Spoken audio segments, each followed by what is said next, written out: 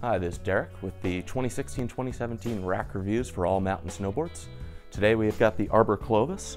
This non-symmetrical twin-tip board is ideal for those who want to charge hard, fast lines, ride tight trees, and throw a little freestyle into their, uh, their lines.